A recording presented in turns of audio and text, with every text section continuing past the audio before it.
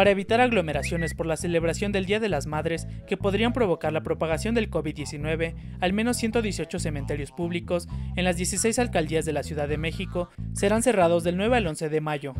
El gobierno de la Ciudad de México informó que de este sábado al próximo lunes no se permitirá el acceso de visitantes a dichos lugares, ni se abrirán los establecimientos que se encuentren en sus inmediaciones.